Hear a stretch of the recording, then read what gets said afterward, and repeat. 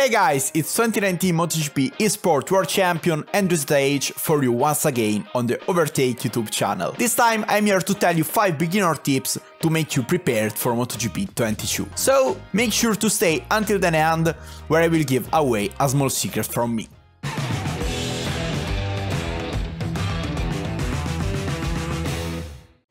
Let's begin with one of the biggest changes for any driver in this year's MotoGP game. You can now control the ride height device.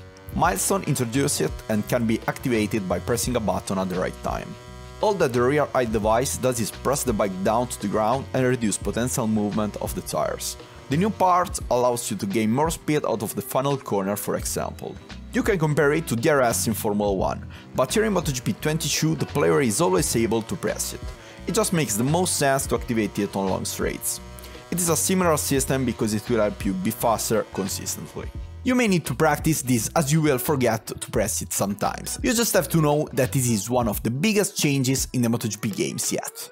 If you do an example like I have here on Mugello, if you flick the final corner now is the perfect time to activate the ride height device. I have a lot more traction and can gain a lot more speed than if I don't activate A tip I can give is to put it to a button you find and remember. The standard button is triangle for PlayStation for example. If you forget to use that, a lot maybe another button is better.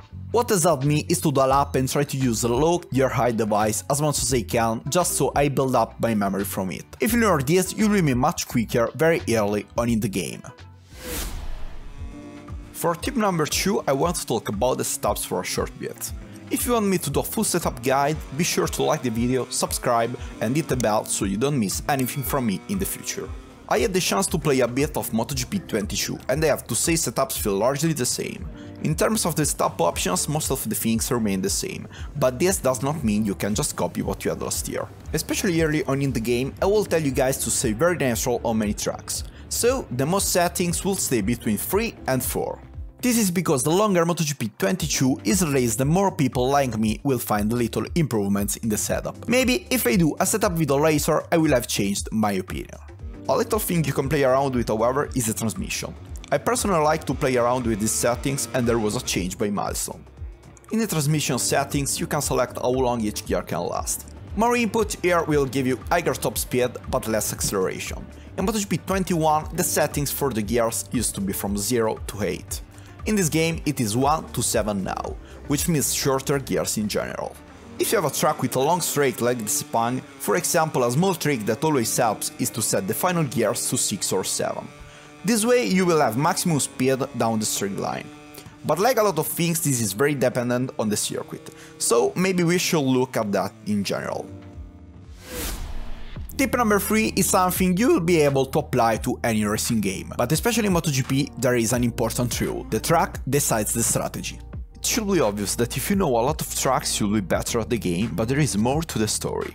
If you know which kind of track it is, you will know what to do with your bike. As an example, we will take Mugello game because it is one of my favorites. The track is very bumpy and has a lot of forward braking zones, but there are also full speed options. If you want to learn Mugello, it can help to find a track that is similar. Portimao will be a good example here. If you take the time to learn either of these tracks, the other one will almost seem easy.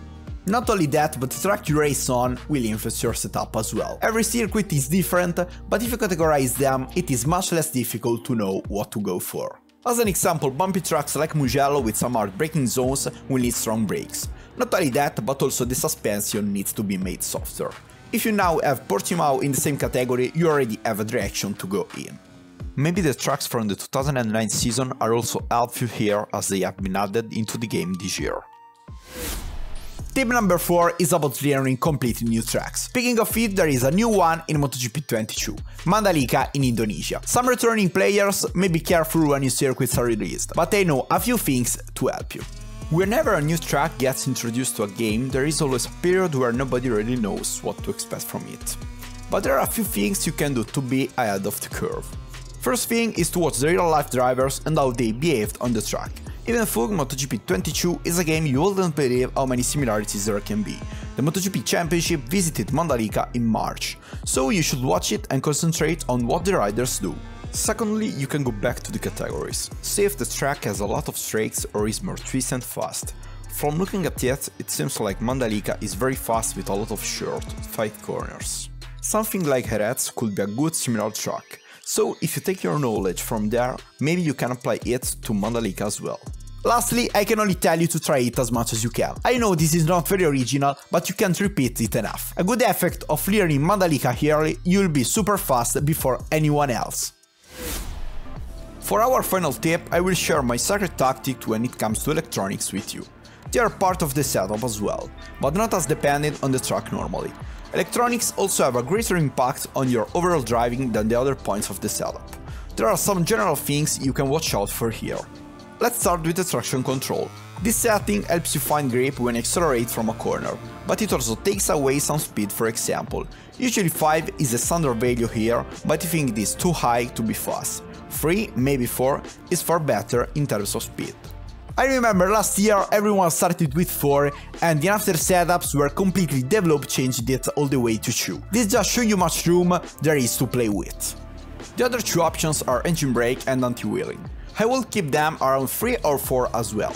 The same logic applies as with the traction control. The more you push these values to the max, the less speed you will have.